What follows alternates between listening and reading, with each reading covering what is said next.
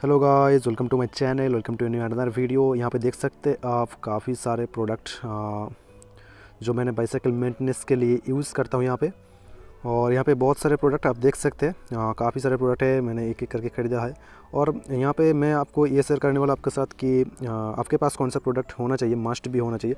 मतलब अगर छोटे मोटे कुछ भी प्रॉब्लम आए अपना बाइसाइकिल में तो आप घर बैठे इसको ईजीली खुद अपने आप सॉल्व कर सकते हैं, ठीक है?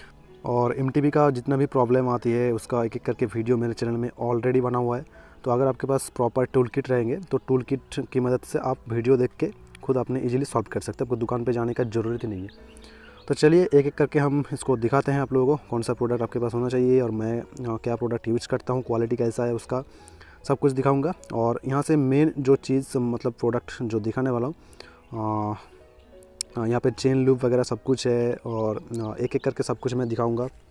और कोई भी प्रॉब्लम आए तो कमेंट भी करना। तो फ़र्स्ट हम जो दिखाने वाला है वो है चेन लिव, जो कि बाइसाइकिल का मेन जो मेंटेनेंस का फ़र्स्ट जो मेन चीज़ आता है प्रोडक्ट वो है चेन लिव, ठीक है? अगर आप रेगुलरली बाइसाइकिल यूज़ करते हैं राइड करते हैं तो अगर एम है, आपका अगर हाई एंड बाइक है, कोई भी बाइक हो तो चेन को आप जितना अच्छा मेंटेनेंस करके रखेंगे ल्यूबिंग करके रखेंगे तो क्वालिटी राइडिंग में क्वालिटी अच्छा मिलेगा स्मूथ शिफ्टिंग होगा, बहुत कुछ मतलब एकदम स्मूथली चलेगा, ठीक है? तो उसके साथ और एक भी प्रोडक्ट आपको लेना पड़ेगा जो कि चेन क्लीनिंग का क्लीनिंग करने के लिए जो हेल्प करता है चेन क्लीनर बोलते हैं इसको, जो कि आप डिग्रीज़र भी बोलते हैं। तो ये दोनों प्रोडक्ट आपके पास मस्ट होना चाहिए मतलब चेन क्लीनर और चेन ल्यूब और इसके मदद मतलब पहले आप चेन को क्लीन करेंगे चेन क्लीनर से उसके बाद आप जो ल्यूब है ल्यूबिंग करेंगे, ठीक है? और चेन क्लीनिंग करने के लिए आप मार्केट से डिग्रीज़र मतलब जो ऑनलाइन वगैरह मिलता है, आजकल बहुत सारे डिग्रीज़र है, वो भी ले सकते हैं, लेकिन मैं जो डिग्रीज़र यूज़ करता हूँ, ये है पेंट थीनर जो कि काफ़ी अच्छा रिस्पॉन्स मिलता है यहाँ से मतलब एकदम कम प्राइस में मिल जाते हैं चालीस से पैंतालीस रुपये के आसपास। ये पूरा बोतल पूरा भरा हुआ था, मैं बहुत दिनों से यूज़ करता आ रहा हूँ। और इसके साथ और भी एक चीज़ लेना पड़ेगा, जो कि है टूथब्रश आप पुराना भी ले सकते हैं, नया भी ले सकते हैं, आपके पास अगर ज़्यादा पैसा है तो। पुराना टूथब्रश और चेन क्लीनर और चेन ल्यूब, ये तीन प्रोडक्ट आपके पास अगर रहेगा तो आप इजीली घर बैठे आप चेन को पूरा क्लीन कर सकते हैं और चेन को ल्यूब कर सकते हैं। उससे क्या होगा कि आप अगर प्रॉपर तरीके से चेन को ल्यूब करेंगे तो आपका चेन का लाइफ भी बढ़ जाएगा। और ये जो प्रोडक्ट है, आप ऑनलाइन भी परचेस कर सकते हैं। लिंक मैं डिस्क्रिप्शन में प्रोवाइड कर दूँगा और यहाँ से आप परचेस कर सकते हैं। और ये वीडियो जो है मतलब अपने यूज़ के लिए मतलब ये सब जो दिखा रहा हूँ, कोई रिव्यू प्रोडक्ट वीडियो नहीं है, ऐसा कुछ भी नहीं है। तो चलिए, और यहाँ पे आप मेरे हाथ में आप देख सकते हैं एक ड्रिलियर जो कि रियर ड्रिल है। मेरा पिछला जो पुराना ड्रिलियर था, जो कि माइक्रोसिप का है। आप यहाँ पे नोटिस कर सकते हैं, ये ड्रिलर बहुत अच्छा है। अभी तक कोई भी प्रॉब्लम नहीं है इसमें, लेकिन मैंने एडवांस लेवल में शिफ्ट होना चाहता था तो ड्योरे लगा लिया। तो ये जो ड्रिलर है, आपको अपना जो बाइसाइकिल है गेट साइकिल तो उसमें तो ड्रिलर मस्ट होता है। तो ड्रिलर में काफ़ी कभी कभी बार क्या होता है कि प्रॉब्लम आती है। तो उसके लिए जो टूल किट मेरे पास है तो आपके पास रहना चाहिए, जो कि है एल की सेट हेक्स की भी बोलते तो ये जो एल की है, इसके इसके अंदर मैं पूरा सेट ले लिया है, आप देख सकते हैं, पूरा टोटल सेट है, इसमें नौ एल की मिलता है। अलग अलग नंबर का है। यहाँ से वन से 1.5 से शुरू होता है 10 नंबर तक आपको एल की मिलेगा। और ये ब्रांडेड है टापारिया का ब्रांडेड है आप ब्रांडेड ही लेना है आपको। और ये जो ड्रिलर है, अगर ड्रिलर में कोई प्रॉब्लम आए ड्रिलर का कोई मतलब गियर शिफ्टिंग में प्रॉब्लम हो रहा है तो ड्रिलर वगैरह में जो एल की लगता है, वो फाइव एम एम की लगता है, ठीक है?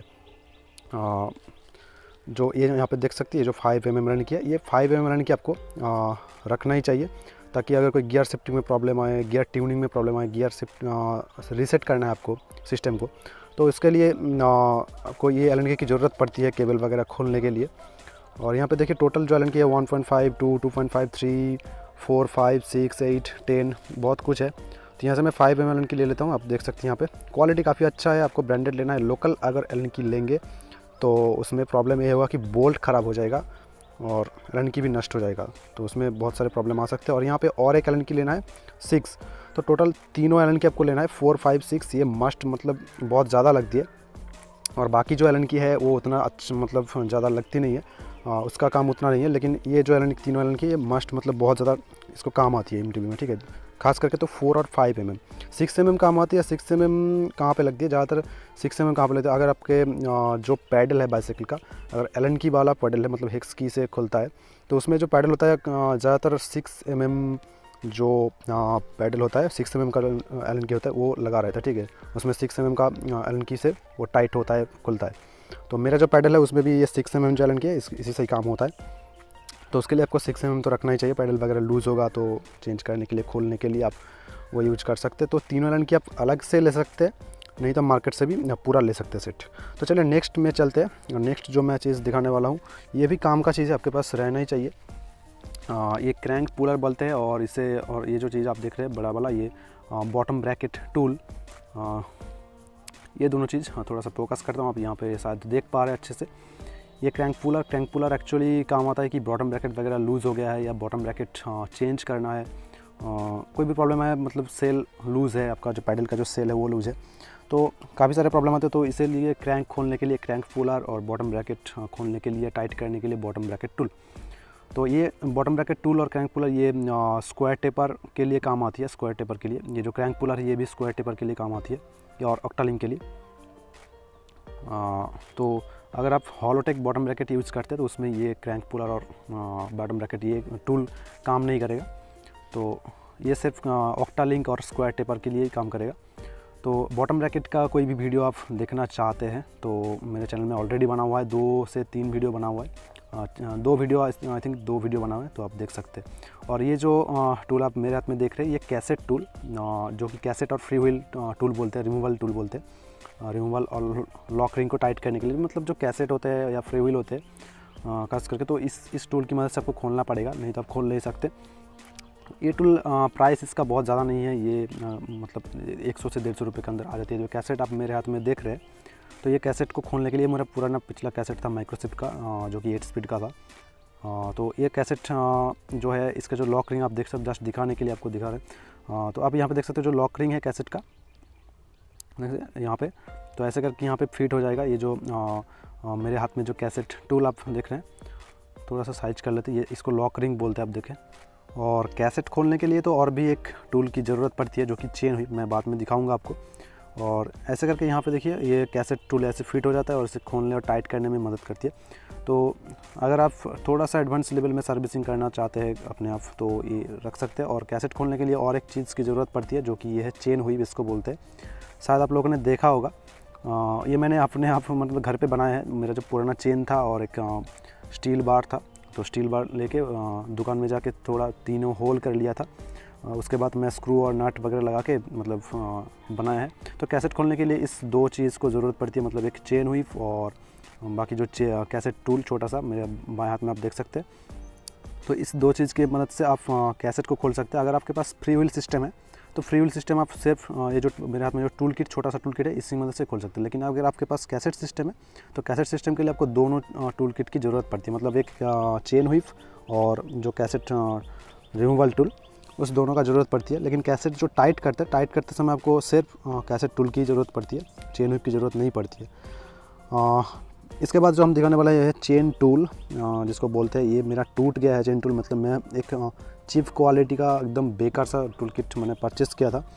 ये देखिए, देख सकते हैं, इसका पिन टूट गया है, लेकिन मैं फेस भी आपको दिखाने के लिए, आप लोगों को दिखाने के लिए मैंने रखा है यहाँ पे। देखिए, आप लोगों को समझ में आए ये चेन टूल आप रख सकते हैं चेन वगैरह खोलने के लिए और चेन को आप कट करना है।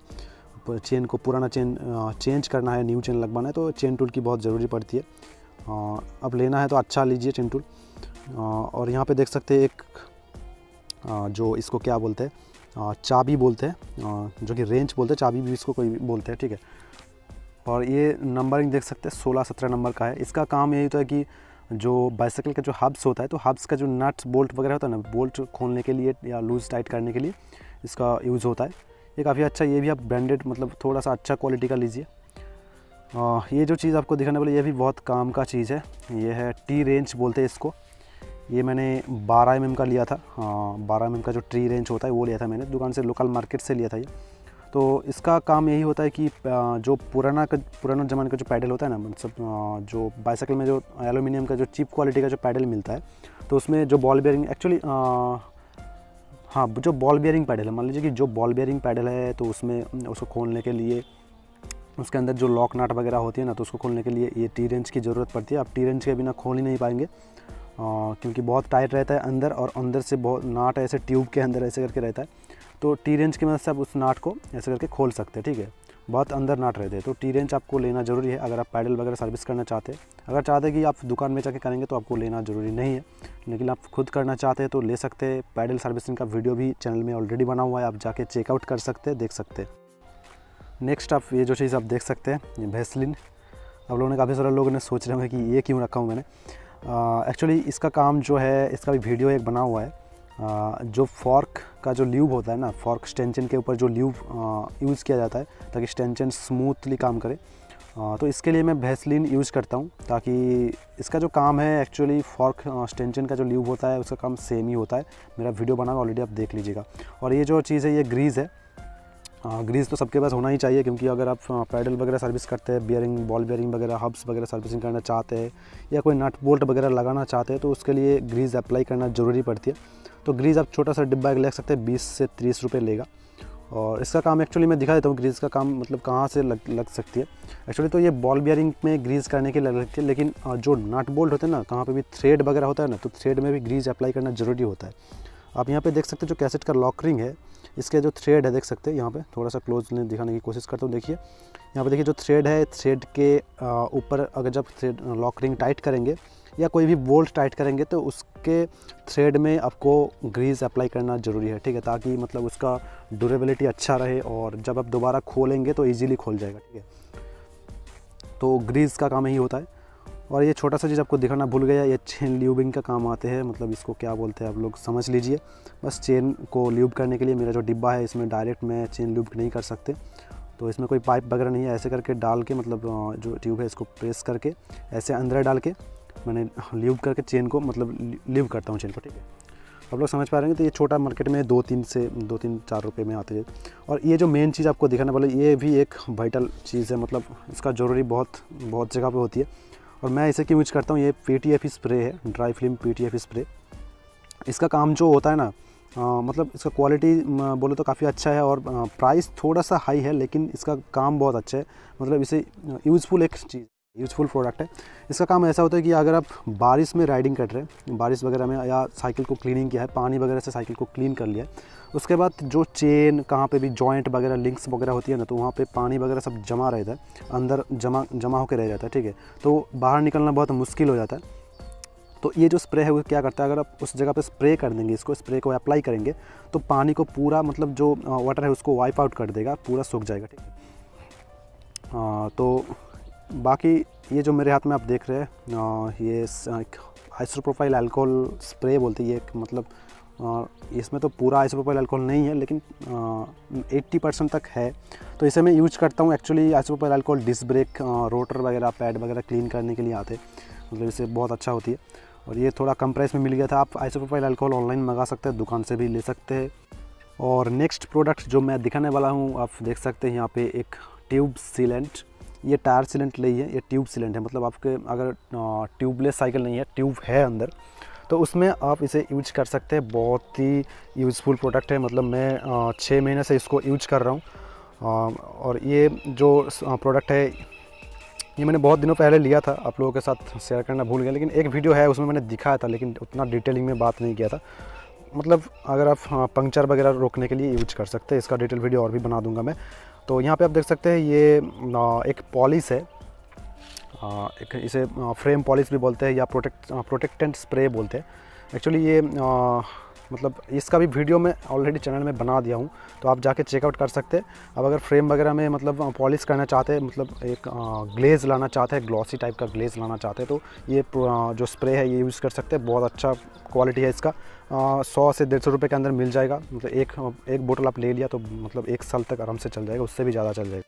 तो इसके बाद हम नेक्स्ट जो प्रोडक्ट दिखाने वाला है, सब कुछ तो दिखा दिए मैंने, और एक चीज़ बाकी है जो कि है ये साइकिल का स्टैंड मतलब बाइसाइकिल का आप अगर सर्विस वगैरह करना चाहते तो सर्विसिंग स्टैंड बोलते हैं इसको। आ, क्योंकि मेरा जो बाइसाइकिल है मतलब मैं बहुत ज़्यादा सर्विसिंग का वीडियो बनाता हूँ। तो इसलिए गियर सिस्टम वगैरह को दिखाने के लिए तो पीछे का जो व्हील है उसको ईजिली मतलब फ्रीली रोटेट होना चाहिए। तो इसको लिए पूरा बाइसाइकिल ये स्टैंड ले लिया मैंने। एक्चुअली इसका जो प्राइस है उतना ज़्यादा भी नहीं है। साढ़े पाँच सौ से छः सौ रुपये के आसपास होती है। आप अगर ऑनलाइन लेना चाहते हैं तो ले सकते हैं और काफ़ी अच्छा यूज़फुल प्रोडक्ट है। और इसका जो क्वालिटी है उतना अच्छा नहीं है, लेकिन काम चलाने मतलब लायक है, ठीक है, चल जाएगा। मैं एक साल से इसको यूज़ कर रहा हूँ, अभी तक तो कोई प्रॉब्लम नहीं है मतलब चल रहा है ठीक ठाक मतलब यूजफुल प्रोडक्ट है और इसे आप यूज़ करना मतलब सब लोग जानते हैं यूज़ करते कि मतलब कैसे करते यूज़ तो जस्ट दिखा रहा हूँ आप लोगों के पास, आप लोग लेना चाहते तो ले सकते हैं। आपको लेना, लिखना है कि बाईसाइकिल वर्किंग स्टैंड लिखना है या टर्निंग स्टैंड वगैरह सब लिख सकते हैं। और ये जो स्टैंड है, आप इसको मतलब फ्रंट व्हील और रियर व्हील कोई किसी भी व्हील पे लगवा के आप काम कर सकते हैं। दोनों साइड ये टाइट होता है, यहाँ पे अंदर जो हब्स का जो बोल्ट है, ये अंदर चला जाएगा और दोनों साइड से टाइट होता है, ठीक है।